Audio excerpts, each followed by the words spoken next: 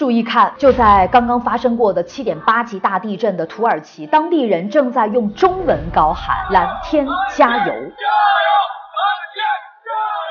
他们正在欢迎咱们中国的蓝天救援队，这也是第一支抵达土耳其的国际救援队。在满目疮痍的重灾区，中国救援队夜以继日地在废墟中搜寻任何生还的可能，点亮一个又一个生命的奇迹。于是，我们也看到了温情的一幕：一位中国蓝天救援队的队员去当地的超市买食物，老板不肯收钱，只想要合个影。但中国救援队的队员温暖的回答，坚决不拿群众一针一线。感动的背后。更让人惊讶的是，这样一支训练有素的队伍，其实是自发的民间的救援队。蓝天救援队呢，是一家纯公益组织，队员就是和你我一样的普通人。他可能是你家小区门口的保安，可能是给你送包裹的快递小哥，也可能是你家的木工泥瓦匠。在通过专业的训练、严格的考核之后，舍己为人，救援全世界。他们都是一群平凡的人，但却做着。不平凡的事儿，这样的人有整整五万。更难能可贵的是，因为他们从来不接商业合作，不做广告，有人求救也不收费，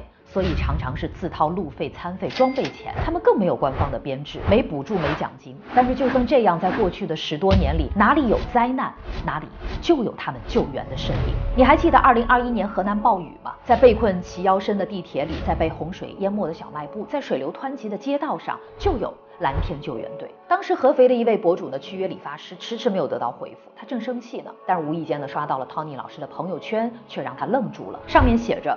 本人除了是发型师，还是合肥蓝天救援队的队员。昨夜呢，我们接到河南救援队的支援请求，已经集结出发了。在齐腰深的洪水里，平时嬉笑的造型师正一脸坚毅，高举双手，紧紧拖住一个小女孩。谁能想到，这双理发的巧手还能给人有力的守护？英雄就在我们的身边，普通人正在用微弱的光汇聚成一团希望之火。谱写不朽的英雄赞歌。二零二零年武汉疫情爆发，山东蓝天救援队机动队的队长许鹏紧急出发一线。临行前，他安慰自己十岁的儿子：“乖，爸爸去武汉打怪兽。”许鹏辗转全国寻找工厂，从山东定制了一批消杀机，又连夜开车八百多公里送往武汉。但是就在途中，他却不幸遭遇车祸，生命永远定格在了三十九岁。去打怪兽的孩子爸爸再也没有回家。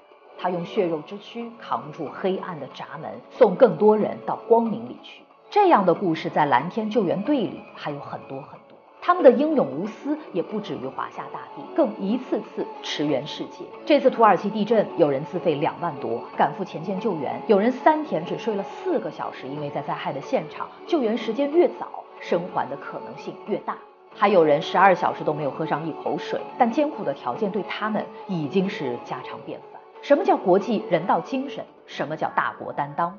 他们就是，他们向全世界展现了，这就是我们中国的救援队。脱下队服，他们也一样为生活起早贪黑；但是穿上队服，他们向险而行，守护生命，不为钱，不图财，只为心中的大义。哪有什么从天而降的超级英雄？那都是挺身而出的平凡人。